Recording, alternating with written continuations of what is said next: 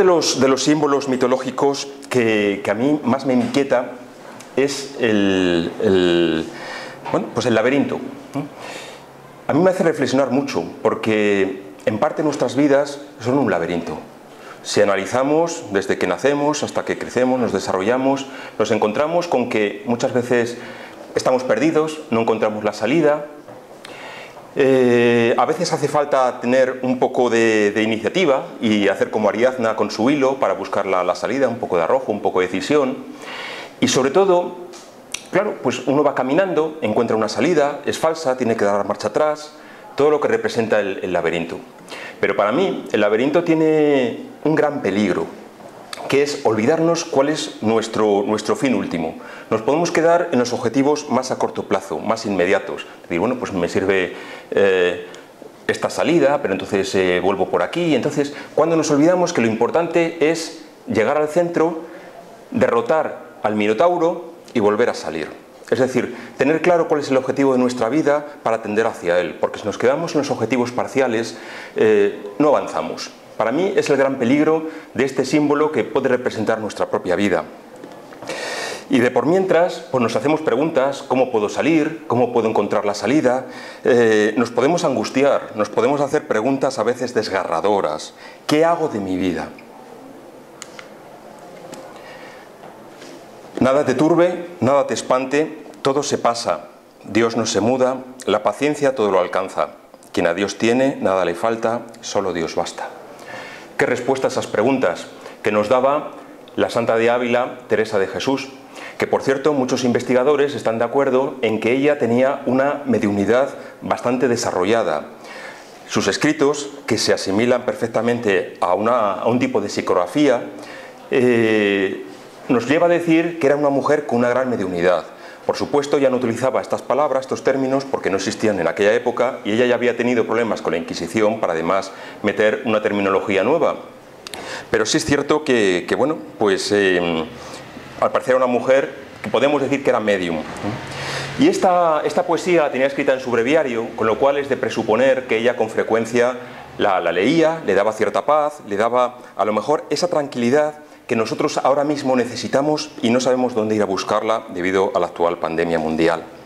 Nada te turbe, nada te espante, todo se pasa.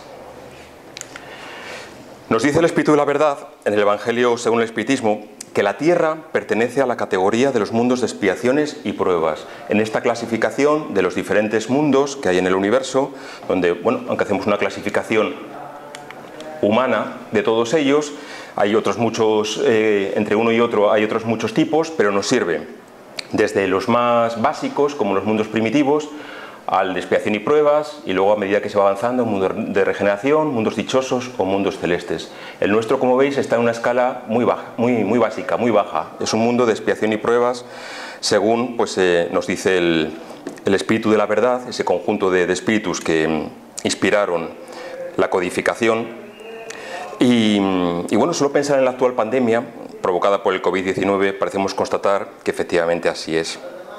Y como todas las pruebas, esta tiene una enseñanza que si no sabemos descubrir, o lo que es más importante, no sabemos aplicar a nuestro progreso personal y espiritual, pues no ha valido para nada. Y sería una pena que tras la cuarentena que pasamos ya en marzo, abril, mayo y los nuevos confinamientos actuales que estamos teniendo actualmente en Madrid y otros municipios, sería una pena que no sepamos sacar una lección. Y es que recordemos los casos. A fecha de hoy hay 861.000 casos confirmados en España, 36,6 millones en el mundo. Y ha habido 33.000 fallecidos en España, 1.063.000 en el mundo. Son datos de la prensa de esta mañana. Sería sin duda una pena que no sepamos sacar una lección de todo esto. Y es que efectivamente en este planeta de expiación y pruebas estamos sufriendo una nueva prueba, una pandemia mundial que a poco que abramos los ojos vemos que está sacando lo mejor y lo peor de cada uno de nosotros. Y muchos nos preguntamos, ¿cuál es el sentido profundo de esta prueba? ¿Hay alguna causa? ¿Cuál es la enseñanza que, debemos aprender y sobre todo cómo debemos afrontarla para salir de ella, de esta prueba, más evolucionados en el futuro? Bueno, pues os voy a contar una anécdota personal que os puede sugerir una posible respuesta a estas preguntas. Como sabéis la mayoría de vosotros y vosotras, hace poco más de un año comencé a trabajar como medium en esta casa. Los comienzos de un medium son, son especiales en la vida de una persona que se oriente por ese camino. Son especiales porque uno duda mucho de sí mismo, eh, no sabe cuál, qué está pasando, tiene duda de si realmente un espíritu se está comunicando a través de él, o son recuerdos de su vida, de vidas anteriores, o lo que llamamos animismo.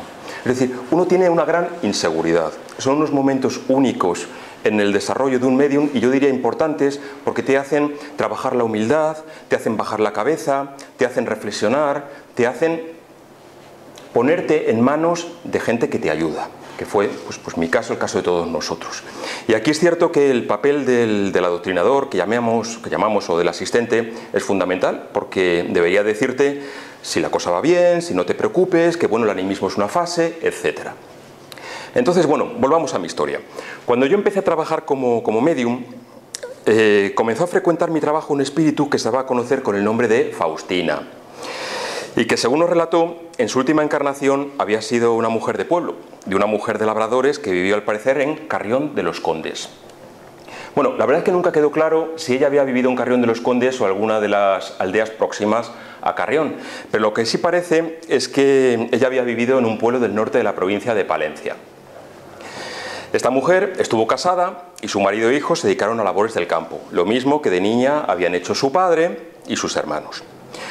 Pues bien, Luego yo lo escuché, eh, nos relató en medio unidad este espíritu, Faustina, una historia que le había sucedido de niña. Y es que en una ocasión su padre y sus hermanos habían acudido a la siembra, a sembrar trigo, que es la costumbre en la zona.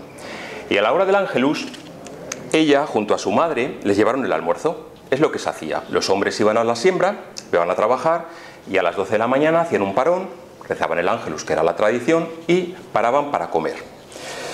Lo habitual. Su niñez al parecer fue feliz y transcurrió entre las labores del campo y la ayuda en la casa familiar. La familia ponía toda la ilusión en la siembra del trigo a la espera de que una buena cosecha ayudase a la estrecha economía familiar. Pues sucedió un día que al finalizar la época de la siembra, Faustina se despertó y miró por la ventana, observando que había caído una buena helada. Su corazón de niña se encogió pensando en que se malograría la cosecha que su padre y hermanos habían terminado de sembrar el día anterior. Y entre sollozos se dirigió a la habitación de la casa donde toda la familia estaba desayunando, como de costumbre, las sopas de pan en los cuencos de barro.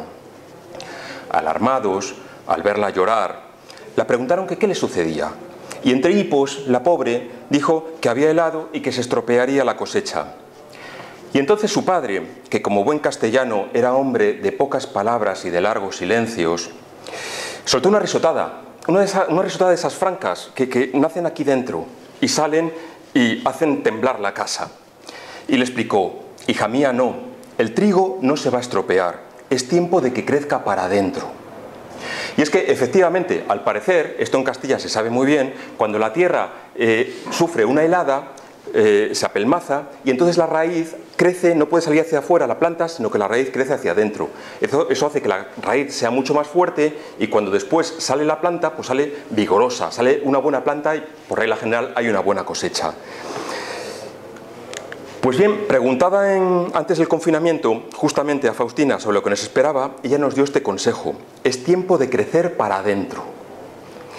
Y esto en la práctica se traduce en que dado que las ordenanzas sanitarias no nos permiten reunirnos, ni celebrar mesas mediúnicas, ni dar clases, ni tener conferencias con público, en fin, es tiempo de cultivar nuestro interior, de analizar qué cosas podemos estar haciendo mal, dónde tenemos puestas nuestras ilusiones, qué tal vamos de orgullo, nuestros apegos a la materia, nuestra soberbia. En definitiva, hacer un examen personal y rectificar. Crecer para adentro, para de este modo, cuando en el futuro finalice la pandemia, que finalizará algún día, y los confinamientos, podamos volver a la vida ordinaria, habiendo afrontado esta cuestión y habiendo mejorado un poquito. Crecer para adentro significa también leer, estudiar y profundizar en el conocimiento de la vida y de la realidad. Alan Kardec escribe en su introducción al libro de los espíritus, el estudio de una doctrina tal como la doctrina espírita, que nos impulsa de repente a un orden de cosas tan nuevo e importante, solo se puede llevar a cabo con éxito por hombres y mujeres, serios, perseverantes, libres de prejuicios y animados por la firme y sincera voluntad de alcanzar un resultado. Por ello, a continuación, Kardec anima a realizar un estudio continuo, regular y serio. Y es en esta línea de estudio en la que querría desarrollar la conferencia de hoy, repensar la economía desde el espiritismo. Este tema yo no lo no pretendo, no lo quiero exponer de una forma teórica, una especie de clase magistral como la que daría mis alumnos en la universidad, porque yo creo que la economía, al igual que el espiritismo, tiene que ser algo muy práctico eh, y tiene que ser útil para explicar la realidad actual, si no se queda en una teoría para vender libros. Entonces, me voy a basar en la situación actual ocasionada por la pandemia del COVID, cuyos efectos principalmente son sanitarios, pero tangencialmente y de forma no menos importante son y serán también económicos. En este sentido, en la pregunta 740 del libro de los espíritus se les pregunta, ¿las plagas no serían también para el hombre pruebas morales que lo enfrentan con las más duras necesidades? A lo que aquellos, los espíritus, responden, las plagas son pruebas que proporcionan al hombre la ocasión de ejercer su inteligencia y de demostrar su paciencia y su resignación a la voluntad de Dios. Asimismo, lo ponen en condiciones de manifestar sus sentimientos de abnegación, desinterés y amor al prójimo, en caso de que no esté dominado por el egoísmo. Bueno, no sé lo que pensáis vosotros, pero yo creo que, que esta pregunta se ajusta perfectamente a la situación actual de la pandemia. Pero atención, que nadie se equivoque. Este recurso literario a la voluntad de Dios no es una llamada a la dejadez, a la resignación o a la pasividad. Y por eso en la siguiente pregunta, a la 741, aseveran los espíritus que a pesar de la existencia de una plaga, el hombre puede y debe conjurarlas a medida que éste adquiera conocimientos. Es decir, prevenirlas, prevenir las plagas, prevenir estas situaciones. Si sabe investigar las causas, dando a entender que ante una plaga el hombre debe en primer lugar a percibirse de que algo está haciendo mal y después ponerse a trabajar para mejorar y por último incorporar a su vida esa reforma moral que puede afectarlo a sí mismo o a la sociedad en general. Pues bien, ante la pandemia sanitaria actual nos podemos preguntar cuál podríamos decir desde el punto de vista espírita que es esa situación errónea que a nivel de planeta o de sociedad necesita ser corregida mediante esta prueba que estamos sufriendo y la verdad es que, bueno, siendo sinceros, si empezamos a contar los males del planeta Tierra, no, no pararíamos, no pararíamos. Sin embargo, ante una pregunta realizada aquí, en la mesa mediúmnica, los espíritus nos han transmitido que este virus sanitario es una imagen de otro virus más injusto, el virus de una economía enferma. La economía está enferma como consecuencia de un crecimiento económico injusto. Esa es la enfermedad según nos dicen, que prescinde de los valores humanos fundamentales. Y estos son, entre otros, los síntomas, toda enfermedad tiene unos síntomas, pues los síntomas de esa enfermedad son los siguientes. Primero, el desigual reparto de la riqueza.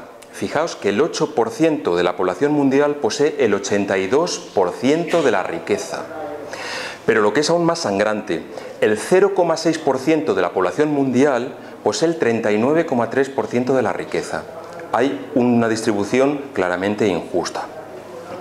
Segundo, el modelo económico actual, que desde la revolución industrial del siglo XVIII no cuida la casa común, el planeta Tierra. Estamos cerca de superar muchos de sus límites con consecuencias graves y irreversibles de pérdida de biodiversidad, cambio climático, hasta el aumento del nivel de los mares, destrucción de bosques tropicales y otras catástrofes ocasionadas por maltratar la naturaleza de una forma descontrolada. Y tercero, una especie de cajón desastre, hay una serie de desajustes económicos que a veces nos influyen más, a veces nos influyen menos, pero que contribuyen a que los ciudadanos estemos temerosos, preocupados y sumisos al sistema económico. Me refiero al paro, en primer lugar, por supuesto, porque es algo que nos afecta así como muy de cerca, pero también a los tipos de interés, la prima de riesgo, la alza de precios, los déficits públicos. Son una serie de indicadores económicos que en principio no deberían de preocupar al público, sino que es tarea para el gobierno en sus políticas económicas, quizá para las empresas, tal vez para los economistas. Pero, mm, sin embargo, los medios de comunicación han hecho de ellos portadas que nos hacen causar un gran desasosiego. Eh, a mí me llamó mucho la atención que durante la anterior crisis económica, la que comenzó en 2007, 2008, etcétera, siempre era portada de cualquier prensa que tomáramos cómo estaba la prima de riesgo. Yo, qué curioso. de tantas noticias del mundo era portada la prima de riesgo. Pues bueno, no digo nada nuevo si recuerdo que el miedo es una forma de controlar. Y es que, de este modo, la persona humana, que desde un punto de vista espiritual debería de ocuparse de progresar y de evolucionar, eh, de llevar sosiego a su alrededor, dedicar su tiempo y esfuerzo en la mejora de su comunidad, trabajando a la vez su dimensión espiritual, se encuentra por el contrario sometido a la materia, al control del dinero, a la preocupación de buscar un trabajo, de no perderlo, de ahorrar, de tener una rentabilidad, de cuál va a ser mi pensión futura, cuál es mi nivel de ahorro presente, todas estas cosas, pero que nos ponen a un nivel vibracional muy bajo, porque nos hace identificarnos con la materia. De este modo, el Homo sapiens, nosotros, nos convertimos en una especie de Homo economicus, en el peor sentido de la palabra. Es decir, nos vuelve un poco individualistas, calculadores, dominadores. Nos olvidamos de que somos seres sociales, creativos y solidarios, con una inmensa capacidad de amar. Nos olvidamos a menudo de esto. Cuando la obsesión de poseer y dominar hace que excluyamos a millones de personas de los bienes primarios, cuando la desigualdad económica y tecnológica es tal que lacera el tejido social, y cuando la dependencia de un progreso material ilimitado amenaza la casa común, nuestro planeta Tierra, entonces no podemos quedarnos mirando impasibles. Algo estamos haciendo mal. La economía está enferma, pero no estoy hablando de una crisis económica más, sino de las raíces profundas, porque ha desarrollado una estructura que no es apta para el desarrollo natural del ser humano, cuya finalidad es la felicidad. Y no una felicidad individual, sino una felicidad global. ¿Cómo, me pregunto, cómo se puede considerar feliz alguien que nada en la abundancia cuando otros semejantes a él se mueren de hambre? No me explico yo ese tipo de felicidad. Pues bien, con esta conferencia yo querría repensar el trasfondo filosófico de la economía, analizando lo que la doctrina de los espíritus propone para conseguir un mundo mejor que, superando la actual situación de un planeta de expiación y pruebas, evolucione a lo que el espíritu Jonah de Angelis, a través de, de Divaldo, eh, nombra como mundo de regeneración, que ya vimos que estaba también mencionado en el Evangelio según el Espiritismo.